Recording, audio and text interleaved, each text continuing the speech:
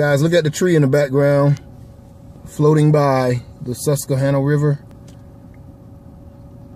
That is a huge tree floating down the river.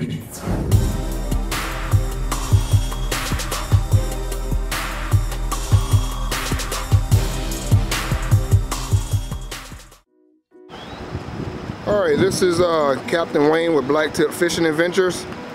We're out here at the uh, Adam T. Bower Memorial Dam, also known as Shamokin Dam, up in Selinsgrove, Pennsylvania.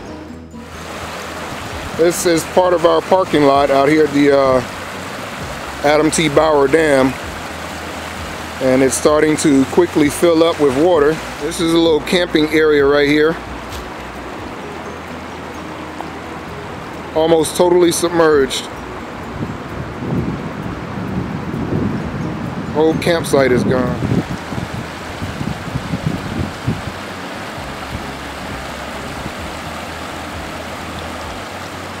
There were a few logs and big trees down there against the uh, walkway. I see all the trees are gone, so they've obviously fallen over the dam.